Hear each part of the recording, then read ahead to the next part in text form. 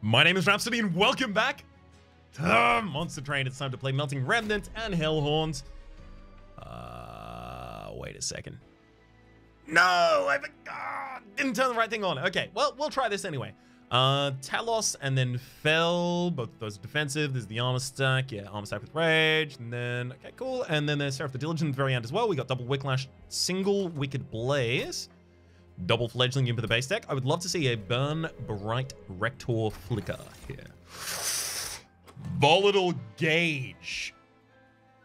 Oh, baby. Hellhorn banner right there, and there's a Hellhorn banner down here too. So there's, oh my god, there's three attempts to hit a Consumer of Crowns. And we gotta try, right? Hmm.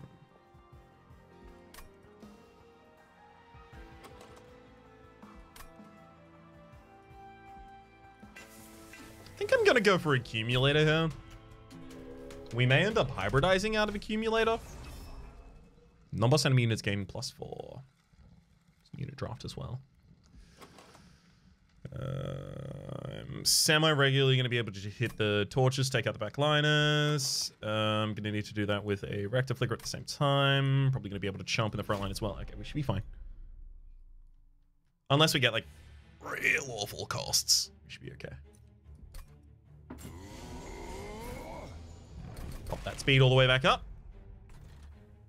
Okay, we want to set up as low as possible as well.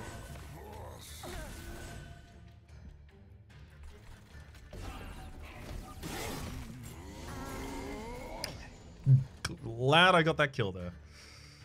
Um, hmm. Interesting. Really would like to be able to play more than one thing. Feels like that would be fun.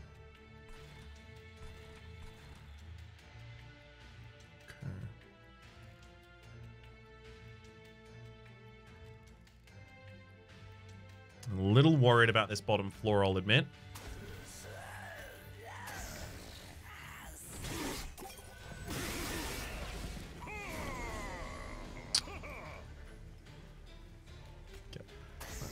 Uh, torch the back line, and we get almost all the way to lethal. We're going to take another 14 damage here. Wait, that one on the top floor slayed. Wow. My HP. It's fine. It's fine. It's a unit draft. It's entirely possible. It's like the unit draft literally just wins us the game as soon as we take it here. Um, hmm, skip that one. Original battle looks pretty good. With a Volta Gauge specifically. Okay.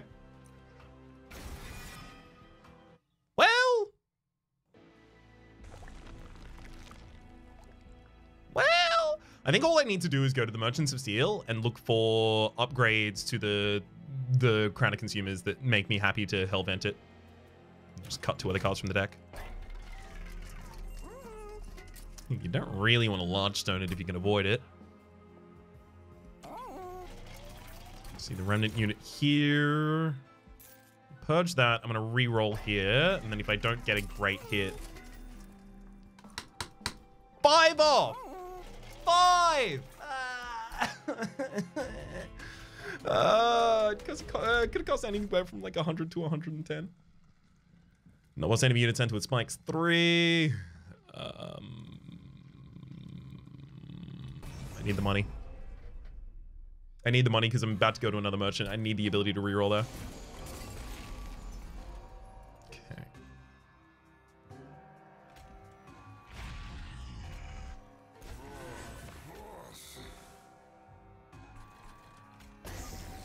Set you up on the top floor so I can make sure I get the money. Turns out it wasn't necessary, but I'm glad I did it anyway.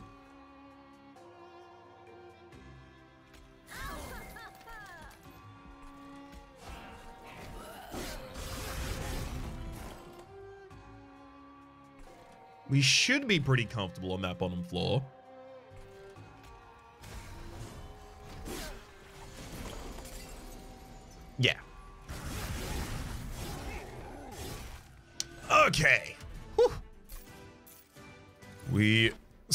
Extra money. I'll take a Mortal Entrapment. It's just high cost enough to be real good here.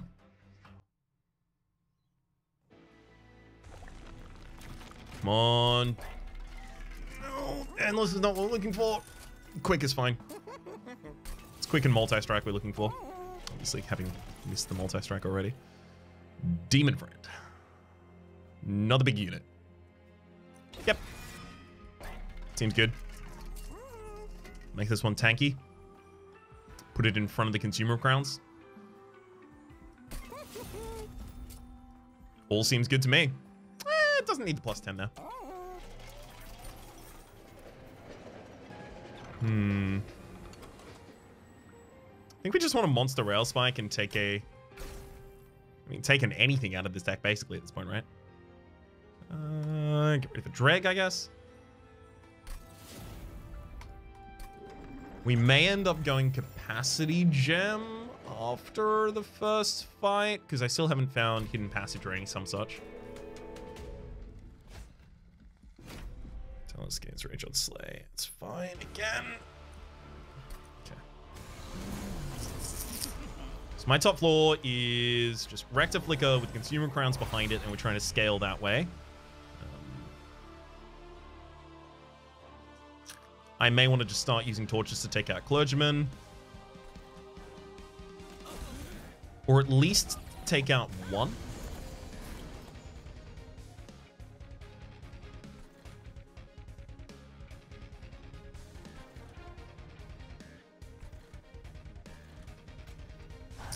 Actually, I'm going to stand by that as well. Let's get Shiny Steward out here and just move two from the field there. Hopefully we get a torch this turn. Single torch, got it. That presents a lot of extra health that the Rector Flicker gets to keep. I can deal 100 damage to the backline if I wanted with the torch. That's pretty good. Seems pretty likely we end up killing the backline first here. Okay, Mortal Entrapment gets to really keep him down.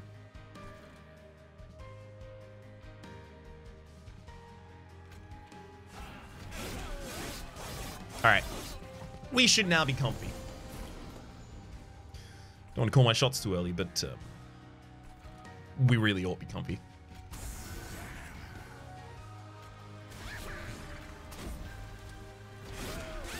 We're missing some harbor trees on the top floor.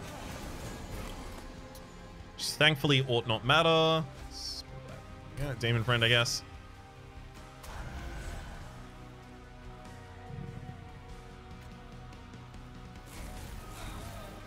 We kill the back liner there, allowing both of those units to get to the top floor so that I have the ability to get the Forge Disciple uh, and, uh, yeah, both of the Harvests, rather, on that top floor.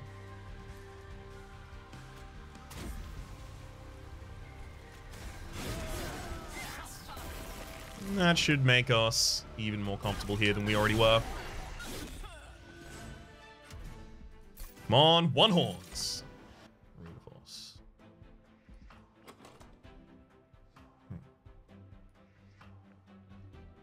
We don't really put armor on units. Formless Child's also pretty bad here too. We're eventually going to need to scale defense somehow. Why isn't uh, why isn't reinforce available as an option? Because Rector Flicker is what we're doing it with. Rector Flicker is already going to get there by itself. Fine. Uh, definitely skip that too. And here it feels like the Demon Friend just does go on its own floor, and we have the Rector Flicker standing in front of the Consumer of Crowns. We need multi-strike in the Consumer of Crowns and then try and go from there. So honestly, it's probably energy or draw.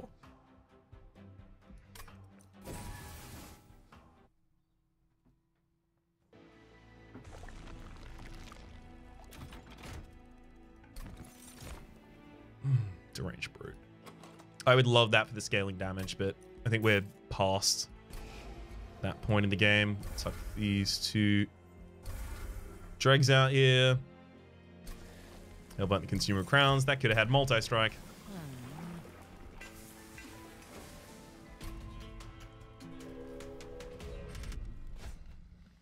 it's got quick.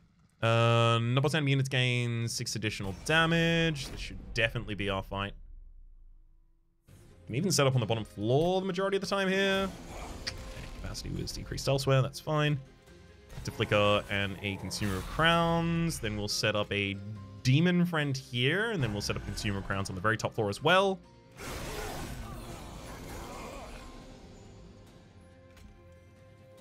Thankfully, we also had exactly enough to get that torch off.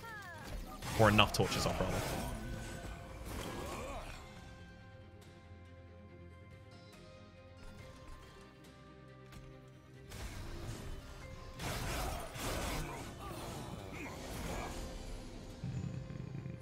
Anything else? No? Okay. One. Two. Just gonna get the extra cards that I don't want to cycle back out of the deck.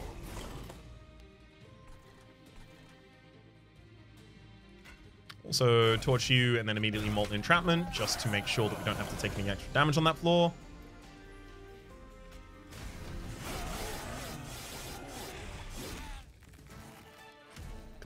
Come on, multi-strike. As soon as we find multi-strike, we've already won. Uh, Engulfed in Smoke is great. Especially if I manage to double stack that. Hard pass here. Can't double stack that until we find the correct multi-strike. Hey, found it. Endless? No. Uh, large stone? I could large stone one of them. I could also quick the demon friend. Just don't want to endless. Double cut is easily the dregs here. Now that we have that upgrade, I'm actually pretty happy to start going back to... Ooh. Maybe I actually go and just dupe another Consumer Crowns and cut this one.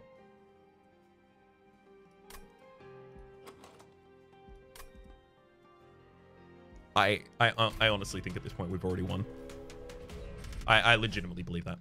Uh, Noble Sendes gain multi-strike. Okay, there actually could be a bunch of Sycophants in front, so ideally I set up on floor two here.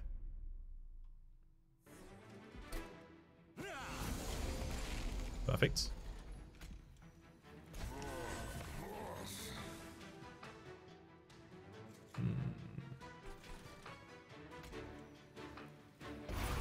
Multi-striking one. Demon friend on the bottom floor just for a single removal.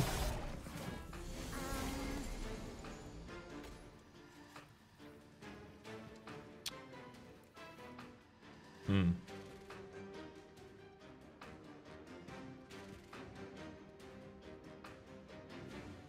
Well, this sucks. We're actually going to miss out on the collector.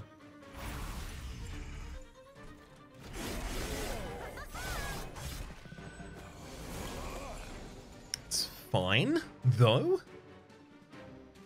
Let's torch the backliner there a bit. Maybe even Wicklash you. Put the frontliner down. Mm-hmm. Just trying to ensure that I get as much growth on this floor as possible. Also really like the engulfed in smoke here. Setting up for the next turn.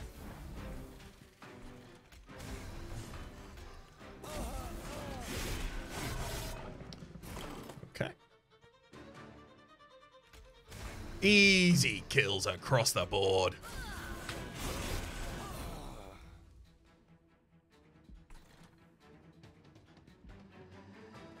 We go for the engulfed in smoke and pass, and then just hope I get engulfed in smoke again, and we do. Got him. Mm, whenever a card consumes blade, deal 30 damage to the front enemy unit. I am happily going to take the skip over that. And another engulfed in smoke? It's my birthday? Didn't think it was my birthday, but apparently it's my birthday. I've got a three floor plan at the moment, so the Inferno is actually pretty hard to take.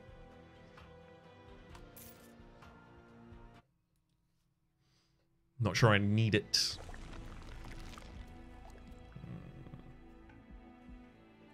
There's so much that could happen over here, though. And it's extra health.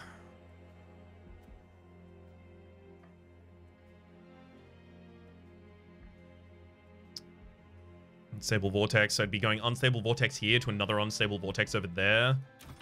Yeah, it's, it's too good to turn down. Extinguish abilities during an additional time. That is not useful in my deck at all. Two minutes get plus one and burnout. That's also not useful in my deck at all. I'm going to take the money there. Not super happy to have had to do that, but that's okay. I'll dupe the good consumer crowns. I will take the bad one out. The reason I'm doing that is because it's a banner unit. I don't want to draw it early if I have the option to draw one of the other ones either. Uh, also, I don't have space to play all three of them because I have no ability to overstack or uh, ascend or descend or any such that would actually affect it. Savvy. I'll cut another Shiny Steward, and then we're going to move down to the double removal here and go for the Shiny Stewards. The Merchant of Magic is going to be for cost reduction on the two stealths, as well as possibly looking for burnout or holdover on either of them.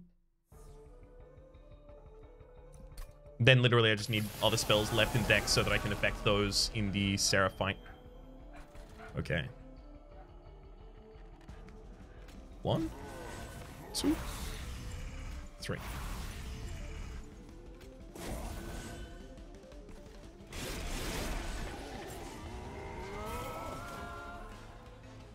You simply love to see it. I'm just going to engulf and smoke two times on this floor.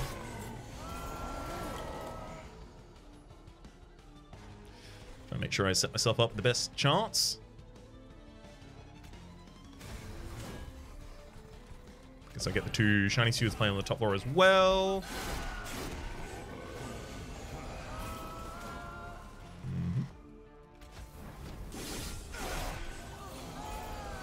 It's it's just smoke from here on out. Mate, I don't mean to blow smoke, but uh here we go, eh? Scene cards in the deck. Uh, again, just smoking, smoking, smoking. Uh, happily get the fledgling imp on the other floor, literally just removed from the cycle. Also going to daze you for a couple uh, more turns because I feel like that's going to be most impactful. And then, yeah, even engulfed more. Get him.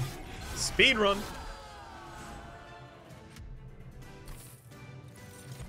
Hmm. Still skip. Is it capacity gem now? It gives me the ability to put a consumer crowns behind one of the demon friends gives me the ability to throw fledgling imps on that floor. Also makes sure that Rector Flicker and that are resilient to the size decrease. Yeah, I'm actually going to take capacity gem here, literally just for the resilience. I want to make sure that I can set up on the bottom floor if I need to, because the Diligent can put some bad stuff in my deck that I would prefer not be in there. It's double stack. Decrease the costs. Plus 10 on... I could do that on a Mortal Entrapment pretty happily. 75 damage. Roll this. Oh, over. Uh, well, if I put that on the Mortal Entrapment, I can just kill the boss easily. But if I put it on the Engulfed in Smoke, I kill the boss as well as uh, all of the floor. So I feel like that's a pretty good choice there. Uh, we got more porches. Porches. We got more porches. Wait, good mate. Here. Right, Sam. skip. We've got more porches, sir. So let's get rid of the two shiny stewards. I'm leaving the spells in the deck, especially at this point, because of the Seraph the Diligent. Then upgrade our champion to scale 20 HP every time we kill an enemy on its floor. Okay, so in this area, we've got another dupe. And we got the Merchant Magic for the double cost reduction. So I'm probably going to go, like, cost reduction on the Mortal Entrapment, Cost reduction on a torch or some such, maybe. And then dupe the... Dupe the super upgraded engulfed in smoke.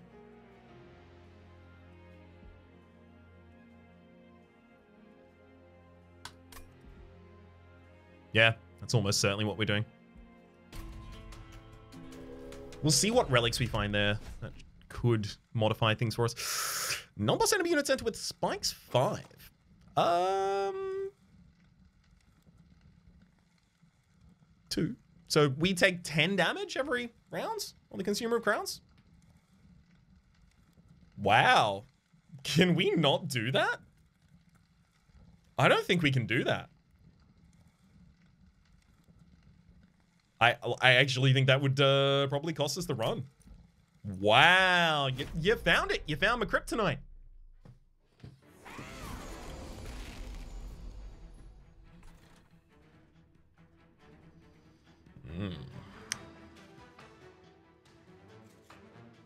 Let's set up on the bottom floor. Rector Flicker, crowns. Um,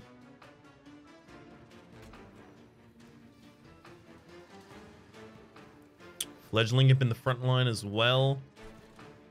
Actually, I should probably just set up the Demon Friend here so that I have the... Yeah.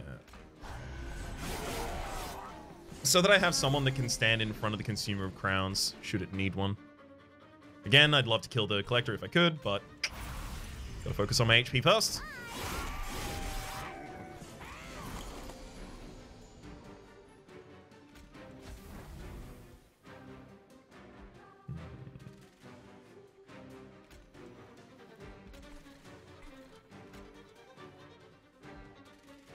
I mean, like, look, I can kill that target, and then we get 62 damage to the backline, but it's going to be the same as if we didn't do that, because next floor they die anyway.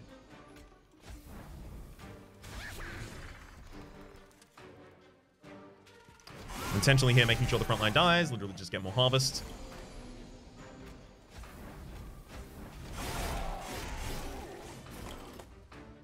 Okay. Keep engulfing that smoke. We got Eh, 12 stacks of it. Seems like that'll be good. Uh, let's go for 16. Nice.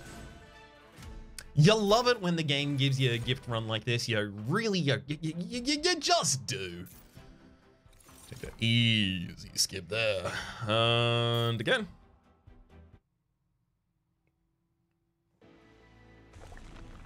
Guaranteed to be going over this side as well. Power Paramains and units gain an extra upgrade slot. Rude. Flicker's Liquor matters maybe a little on the first turn, but that's about it. I'm gonna reroll. Seven energy on the first turn. Conserve between battles. God, I wish I could take both. And then I'm probably going to take conserve energy between turns. There are some turns that I just will not have anything that I can do with the extra energy that is useful. Uh, and that's exactly... Wait, haven't collected all rewards. Because I didn't visit the Merchant Magic? Whoops. It's another double stack here. I wish I'd looked at that. Probably dropped it on the Merchant. I, I don't know. Because it's, it, days, enemies won't hit you. Turn of stealth, enemies won't hit you. Both of them at the same time, whichever is higher, the enemies won't hit you for that amount, right? So you don't want to use both. They, they, it, it, it's like Lifesteal and Divine Shield in a way, right? And damage shield roll, sorry.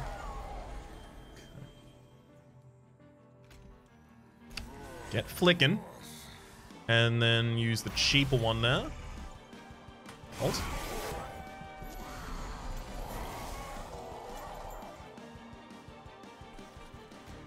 Demon Friend happily goes to the top floor. These Vengeful Shards are each one damage. I may actually just straight up ignore them.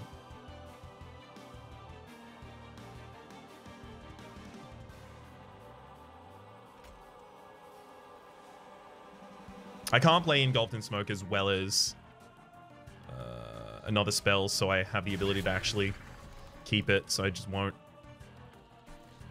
I could play one Vengeful Shard in order to save 1 HP, but lose 2 energy that I would otherwise retain. Uh, I'm going to retain the energy, thank you.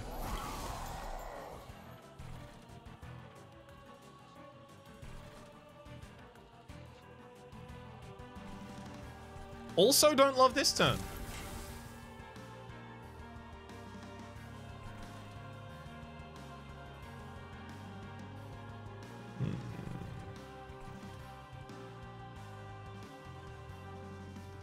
I'd love to be able to use the Whiplash.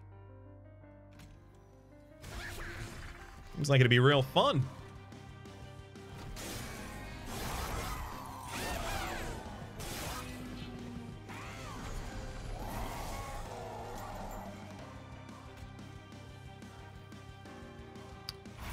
Finally, we get a Consumer of Crowns down again. These are engulfed so bad for us constantly.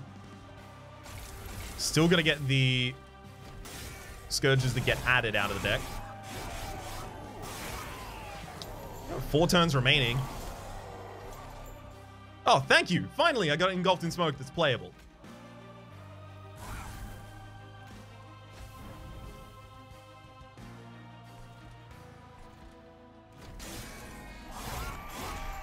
Hold off.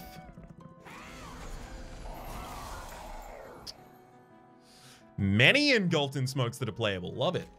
I'm gonna stun this target for a bunch of time, try and save myself some HP. Double stack. Holdover. Double stack.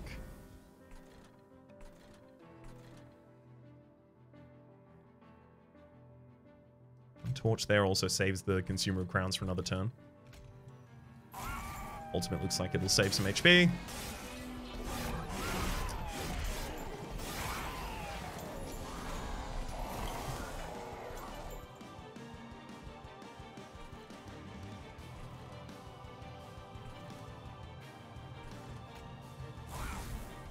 Okay, it'll give us a break in just a second, but I don't actually really want that break.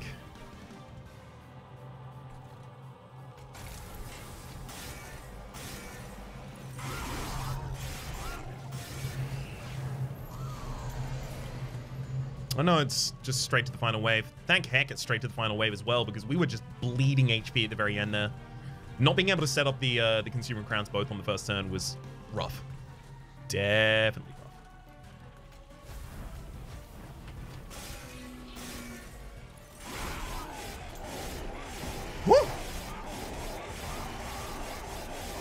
pretty sure I was going to be able to bleed as much as I needed in this fight. I did not think it was going to get this close. I thought we were about probably going to end on 40. Most likely.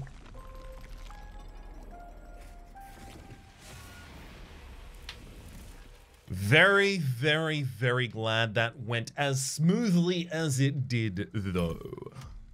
All right. Win streak's back up to one.